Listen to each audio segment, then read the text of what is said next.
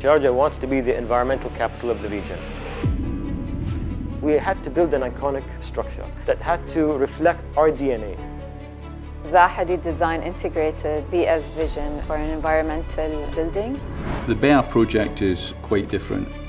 The walls are curved, the ceiling's curved, the facade's curved.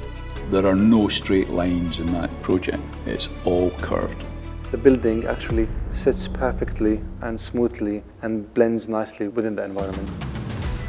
Soft transitions, natural formations, dune formations, rocks and water formations. You could imagine stepping into a museum, although it is a place of work. This is not very common in this region, and we're basically pushing our boundaries to achieve that.